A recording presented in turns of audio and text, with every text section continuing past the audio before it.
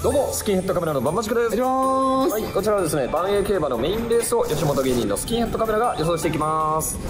さあ、えー、2月4日なんですけども、うん、節分イベントがございます。はい。えー、万栄十勝の騎手の方が、えー、なんと小袋入り節分豆をプレゼント。あらららららら子供の部が12時から大人の部が12時5分間。立て続けにやりますから、うん、えー、これ直接受け取れるのいいですね。いいなみんなからもらいたいよね。その後ねあのバンバとの触れ合い体験もあります。あららららら福助君おなじみ福助君がねいいね。福は内とかあそうだね名前も最高でございますけどね、うん、ぜひ、えー、遊びに来てください、えー、今回予想するのは1月27日のメインレース三つ馬オーセンティック杯でございますじゃあ僕の本命は1番の根室ボブサップです。はい。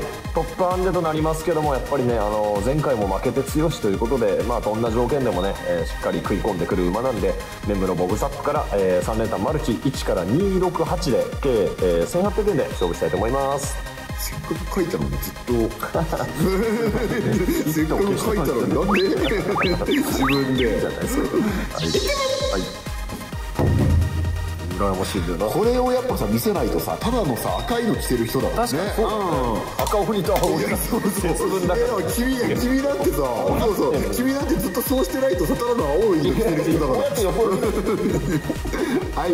僕は生まれん19にしました。まず目黒ボブサップはもう言う言わなくても分かるくらい強いのでこれは1ですかこれ1です1 1です。それで9番インビクタこれは前走もいましたけど見どころあるレースするんでね、はい、やっぱりこうここぞという時に来てくれますんで、うん、それが今回だと祈りまして、はい、生まれん19500円です。はい参考にしてみてください。ではまた来週お会いしましょう。さよなら